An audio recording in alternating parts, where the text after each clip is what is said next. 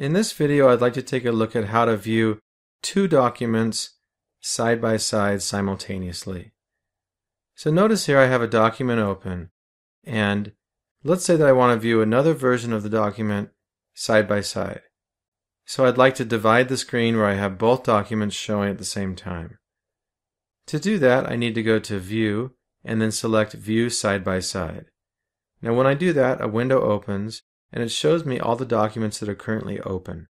So to do this, I want to have my other document that I'd like to view side by side already open.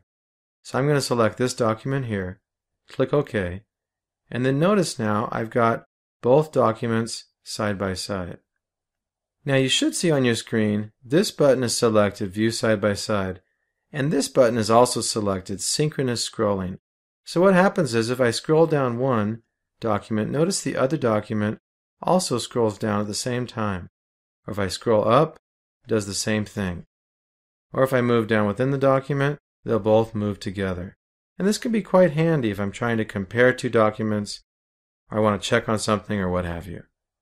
Now, if I want to turn off that synchronous scrolling, say I want to be in chapter 3 here and I'd like to be in chapter 4 on this side, then I go ahead and click this button, deselect it so it's turned off, and now I can click on my document on the right, scroll down, and now I'm in chapter 4 on that document. Okay, that's it for viewing two documents side by side in Microsoft Word. Thanks for watching.